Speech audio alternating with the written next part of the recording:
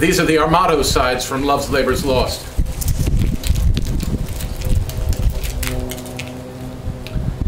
Boy, what sign is he when a man of great spirit grows in melancholy? A great sign, sir, that he will look sad. Why, sadness is one and the self same thing, dear imp. No, no, oh Lord, sir, no. How canst thou part sadness and melancholy, my tender juvenile? By a familiar demonstration of the working, my tough senior. Why tough, senor?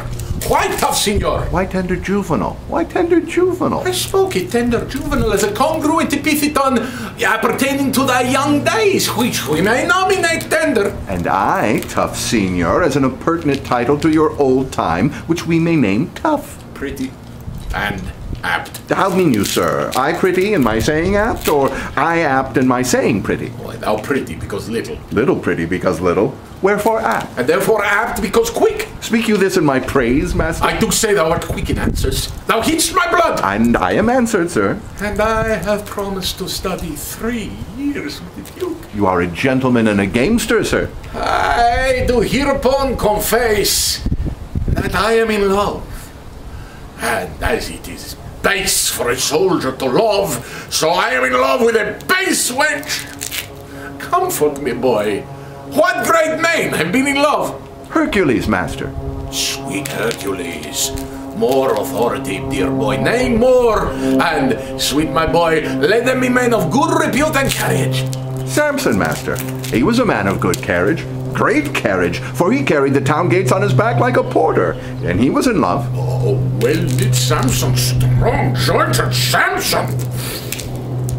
Who was Samson's love, my dear Moth? A woman, master, Of what complexion? of the seawater green, sir. Green is indeed the color of lovers. But to have a love of that color, methinks Samson had small reason for it.